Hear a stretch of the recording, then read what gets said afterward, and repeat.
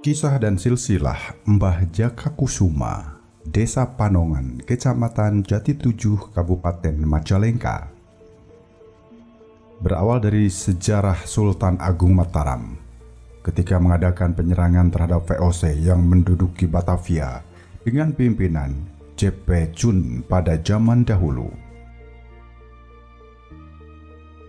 Dalam penyerangan itu pun mengalami kegagalan karena beberapa kelemahan. Wadiabala atau pimpinan prajurit dan para prajurit Islam yang tersisa berpencaran mengundurkan diri. Tersebutlah kisah seorang pemuda sakti, gagah berani, kesatria. Beliau adalah keturunan Demak. Dengan silsilah sebagai berikut, dia bernama Muhammad Ilyas atau Buyut Lelas Berujul keturunan dari Buyut Imban Jaka Kusuma atau Buyut Kadut Panongan, keturunan dari Ki Buyut Grot, keturunan dari Ki Gede Lasem Tiga atau Gede Mangkuraga Jamblang, keturunan dari Raja Adipati, keturunan dari Pangeran Dipati Pajang, dan keturunan dari Sunan Kutub Demak.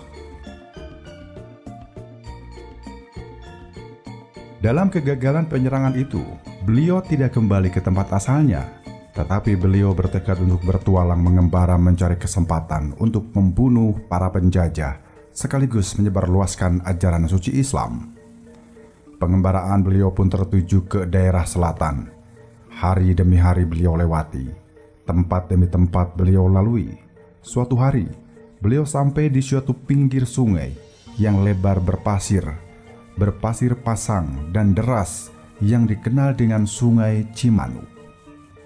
Lalu diseberanginya sungai tersebut dengan perahu milik penduduk sekitar. Di sebuah kampung yang penduduknya masih jarang dan terpencar-pencar, beliau berkenalan dengan salah seorang penghuni sebuah rumah yang letaknya tidak jauh dan sepi di tepi sungai Cimanuk. Keakraban beliau dengan penduduk kampung menjadikan dia betah, hingga akhirnya beliau pun menetap dan mendapatkan jodoh di kampung itu. Puluhan tahun telah berlalu, sementara kedudukan VOC bertambah kuat, daerah kekuasaannya pun semakin luas. Jalan umum dari barat ke timur yang melalui daerah Jati Tujuh Indramayu sering juga dilewati Serdadu Company. Waktu itu jalan raya bikinan Denles tahun 1808 hingga 1811 jauh belum ada. Cirebon belum resmi dikuasai VOC, namun serdadunya sudah sering keluar masuk kampung di daerah Indramayu Jati Tujuh kampung yang dihuni Ki Imban Jakakusuma banyak didatangi orang-orang kampung lainnya untuk menonton atau mengintai konvoi serdadu yang lewat di jalan gede terdekat yang hanya terhalang aliran sungai Cimanuk. Akhirnya kampung itu dikenal dengan sebutan Kampung Panongan, asal kata Panoongan. Noong dalam bahasa Sunda artinya mengintai. Panongan berarti tempat mengintai. Dalam versi sepuh, asal-usul nama Panongan yaitu ketika terjadi Perang Babat Bantar Jati yang diketuai oleh Ki Bagus Rangin dengan tentara Belanda yang datang dari arah Sumedang. Namun pada perang tersebut, penduduk Siwalan, nama kampung sebelum diganti, hanya mengintai saja atau noong, tidak ikut campur.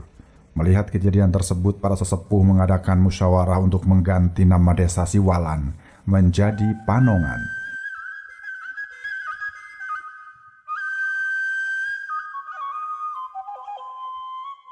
Dalam keseharian, Ki Imban selalu memakai kain yang terbuat dari karung goni yang biasa disebut kain kadut. Oleh karenanya, beliau dijuluki Buyut Kadut. Alasan dari kebiasaan memakai kain kadut di antaranya adalah penyamaran agar dianggap rakyat biasa oleh Serdadu Company dan mungkin juga itu adalah satu sikap bentuk dari sifat tawadu atau rendah hati dan juhud beliau yang patut kita teladani.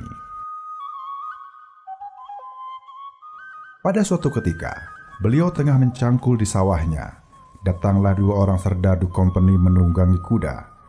Saat melihat keindahan panorama kampung yang belum banyak penghuninya, melihat keimban yang sedang asik bekerja, dengan pakaian kain kadutnya mereka turun dari kudanya, tertarik oleh keunikan keimban yang dianggapnya primitif dan lucu Mereka memanggil dengan isyarat tangan sambil mengiming-imingi sesuatu membujuk agar Keimban mau mendekat.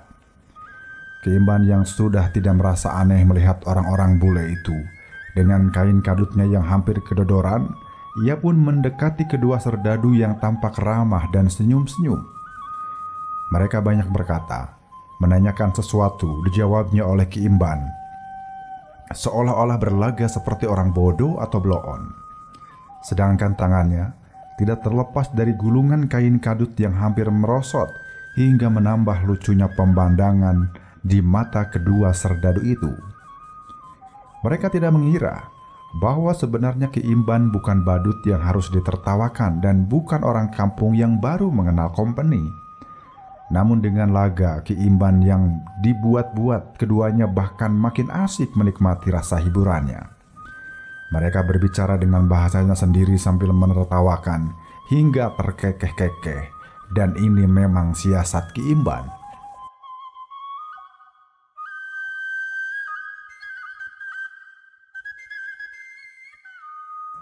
Dalam kesempatan yang baik ini, beliau segera bertindak dengan aksi gerakannya yang menadak lincah.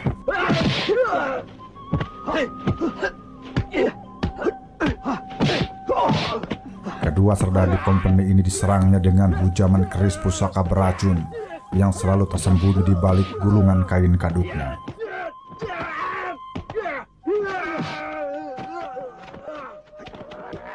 Dan yang satunya lagi terkena tendangan selangkangan sampai dia mengadu sempoyongan dan rebah. Selanjutnya dapat giliran tikaman keris bertuah itu hingga akhirnya keduanya tak daya untuk menyerang.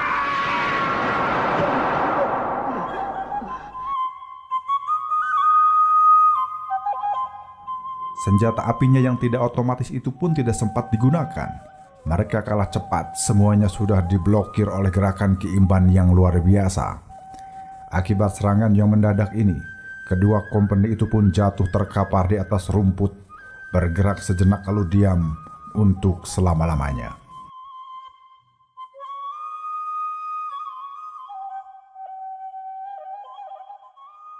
Selanjutnya dengan bantuan istri kedua mayat itu pun dihanyutkan ke sungai Cimanu. Setelah segalanya selesai Keimban pun kembali mencangkul sebagaimana biasa Seolah-olah tidak pernah terjadi apa-apa.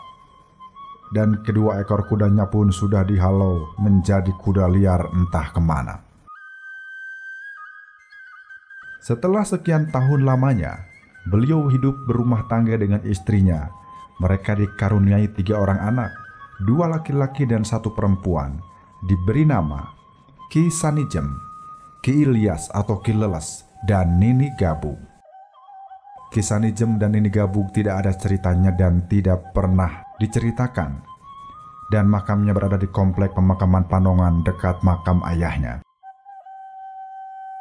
Dalam versi cerita sepuh Panongan, kira-kira pada tahun 1857, Desa Siwalan atau Panongan kedatangan seorang pejuang yang namanya Mbah Buyut Jaka Kusuma berasal dari Jawa Timur atau Jawa Tengah.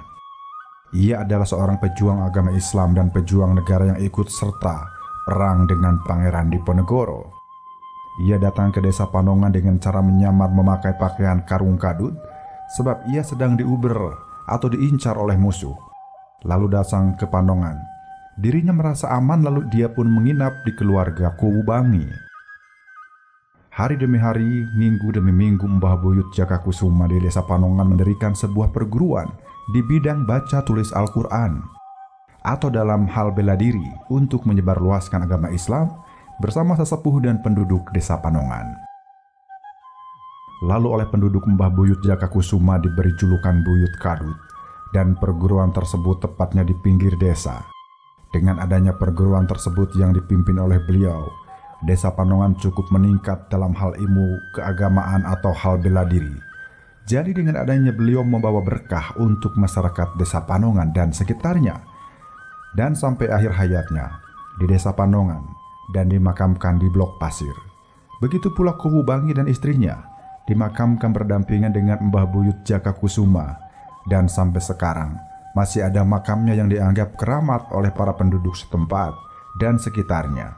Juga oleh para ulama Kabupaten Majalengka dan sekitarnya. Dan begitu pula Ki Buyut Ruda dan Ki Buyut Dokom sampai akhir hayatnya di Desa Pandongan dimakamkan sebelah timur selokan Cibeet, Ki Buyut Dokom dan sebelah barat Cibeet Ki Buyut Ruda. Makam Mbah Jaka Kusuma sampai sekarang masih dianggap keramat oleh penduduk sekitar dan sudah terdaftar sebagai situs makam keramat di Dinas Pariwisata dan Kebudayaan Kabupaten Majalengka. Sekian banyak perbedaan versi tentang Mbah Jaka Kusuma atau siapa pun orang besar. Itu tidak penting. Yang terpenting adalah bahwa mereka adalah orang-orang soleh yang dicintai Allah dan mencintai Allah. Wallahu a'lam.